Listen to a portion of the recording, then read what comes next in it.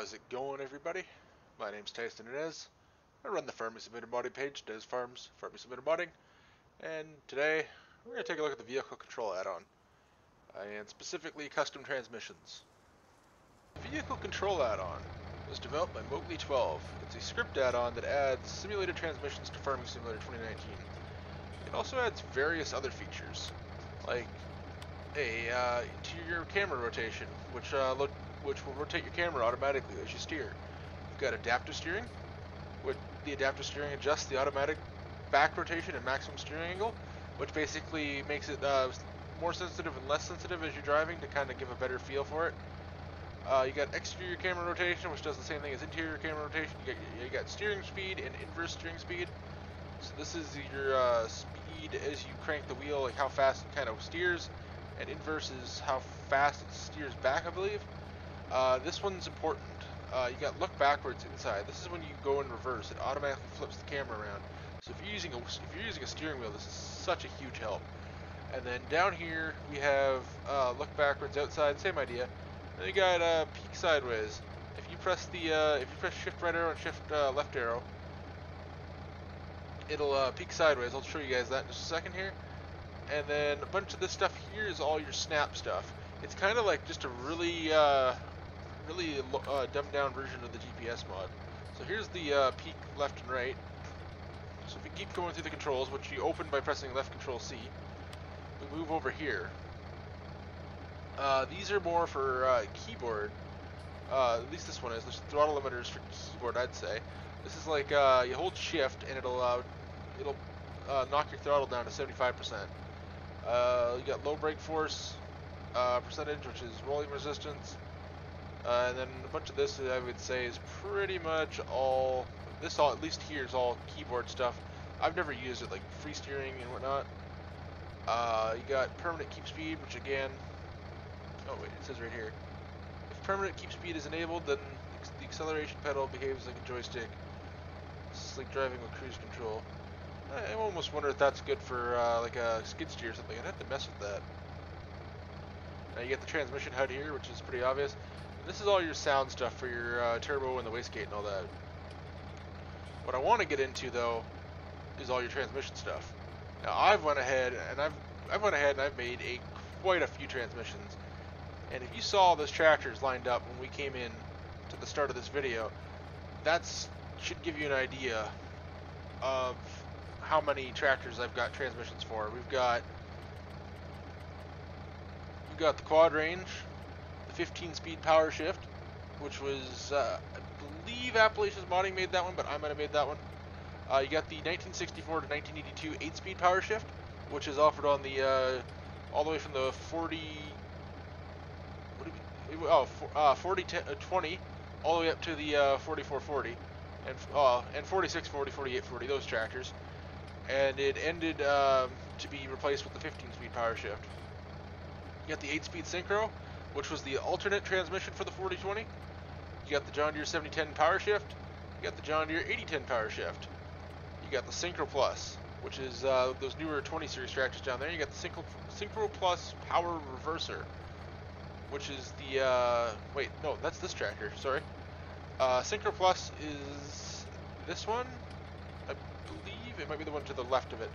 And you got Synchro, Syn Synchro Plus power reverser, which is the same thing except uh, it's got a power, it's got a reverser. And then you got Power Quad, which is the 20 series all the way down to the left there. And you got Power Quad Plus, which is also the 20 series down there to the left.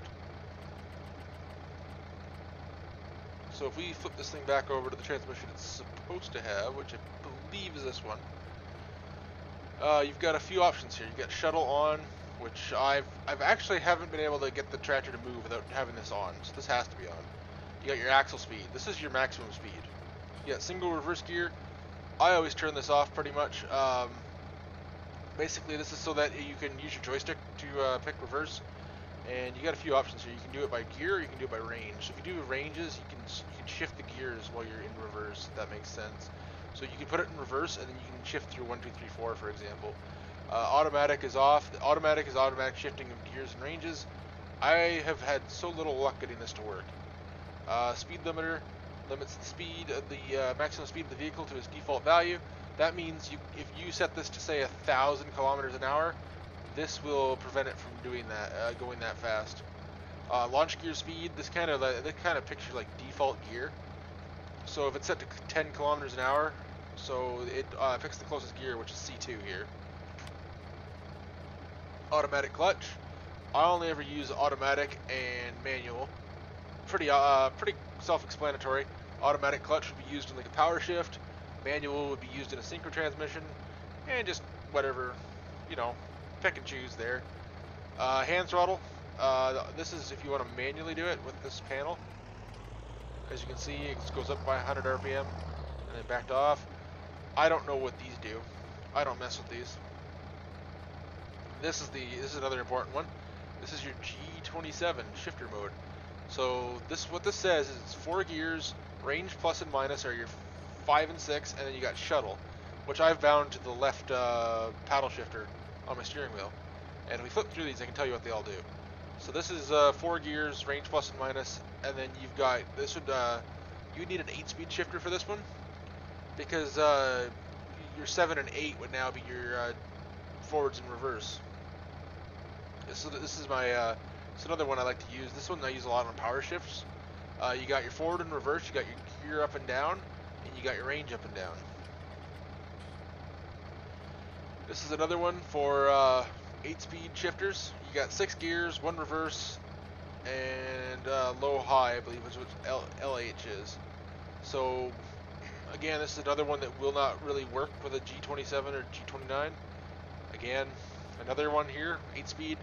So six gears, you got your uh, shuttle, and you got your low high. Again, without the seven and eight, this that one doesn't work either.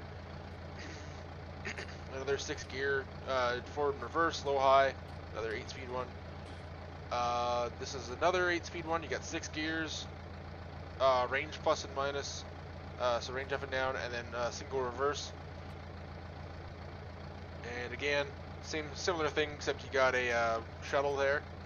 And now we get into the we get into more eight speed stuff.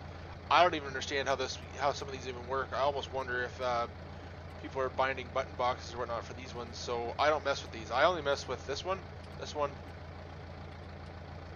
Let me go back here. I mess with this one, this one, and I think no, I don't use this one.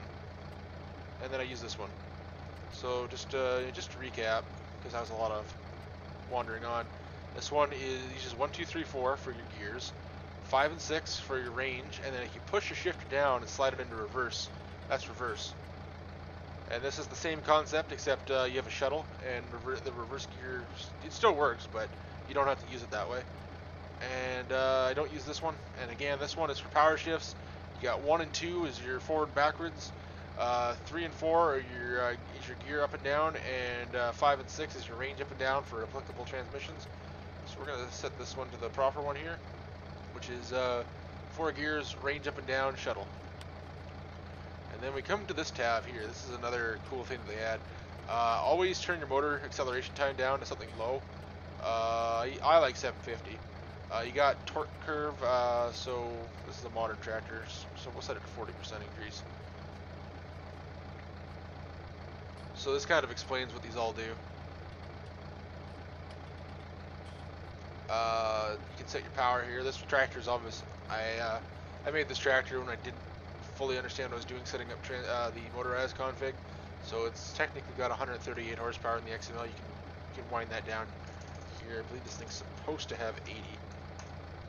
Uh, you got your maximum reverse speed. You got your speed limit, which is your forward speed limit. This is your differentials higher, with higher worker. So basically, if you're uh, you have this on, you're and you don't lock the diff before you give the uh, control to the hired helper, and he gets into a spot where he starts spinning, and he's just gonna get stuck. Uh, swap front and rear axle. I have no idea what the point of that is. Again, advanced speed of front axle. I am assuming that's for simulating a uh, hydraulic front wheel assist. I don't use that. What I do use is the manual all-wheel drive and differentials. This is think SnowRunner on this one. This allows you to press a. I have a combination of buttons. I use the. I believe this. I can't read it here. Oh, the share button on my steering wheel. If I hold it and press the down uh, the D-pad down, I get a rear diff lock. If I press right, I get a uh, I get a transfer case uh, four-wheel drive activation there. Kind of messed that up. I activate the mechanical front-wheel drive, and uh, while that's active, I can also uh, press the D-pad left while holding that as well, and that locks the front diff. So you can lock it all like on SnowRunner or just have it all off. And then finally, there's one more panel here. Uh, this is your global settings.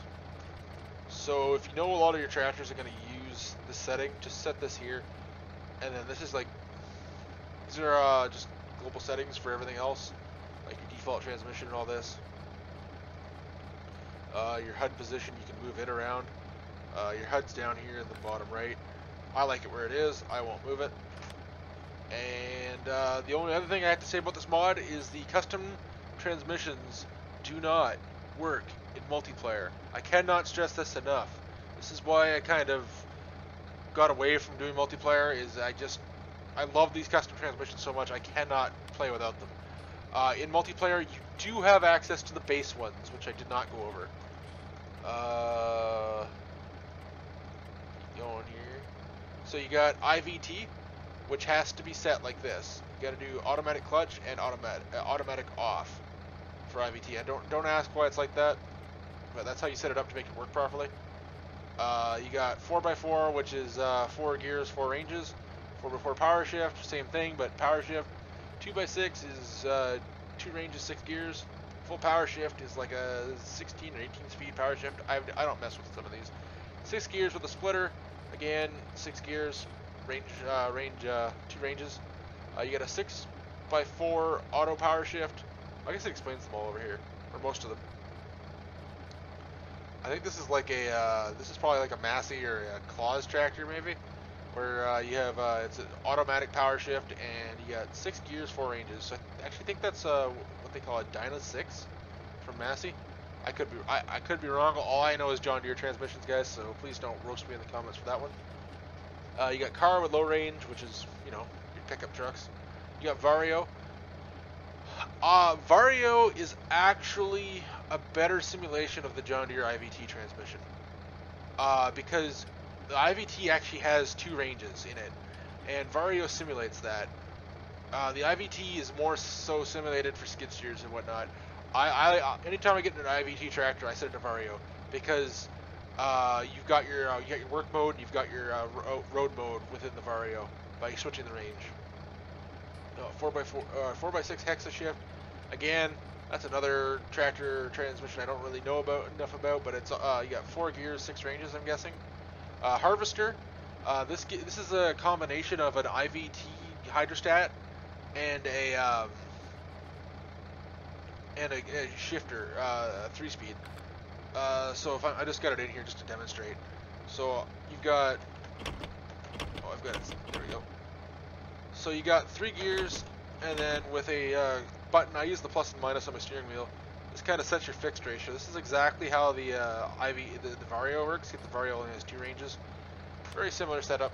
I figured I'd demonstrate that real quick, and I probably will do a combine video after I'm done all the other tutorials. Uh, direct drive is a John Deere transmission I know absolutely nothing about. I could not tell you anything about this. Maybe somebody who's an expert on these could probably uh, drop that in the comments, but I don't know anything about direct drive or what it's even offered on. Uh, you got 16 by 5 full power shift. That's a lot of gears. You got 16 gears and 5 ranges. I don't know why that even exists or what tractor has that. That's that's a pretty wild transmission. And then finally, this was added with an update to the uh, mod, was the John Deere E23, which is your uh, modern 7R, 8R, 9R. And then old 3-speed automatic for your pickups. And then own configuration is another thing here. If you're in multiplayer, you can uh, build a uh, transmission. It's not as nice as doing what I've done and having, be, having being able to name them and set them up with uh, the proper gear ratios and whatnot. So that being said, guys, that covers our little quick introduction to the VCA, or Vehicle Control Add-on. In the next videos, we're going to take these all those transmissions for a spin in their relevant tractors. We've got a 60, 6110, a 6210 with a cab, I've got a 7810, 8110, two 4020s to demonstrate both transmissions, a 4440, a 4255, and I believe these are two 6120s. And I we are going to demon I'm going to demonstrate those transmissions that I previously talked about, the custom ones to you guys. So uh, I'll see you guys next time, and we're going to start off with the uh, 6110 over here with the first tutorial. Thanks, guys. See you guys next time.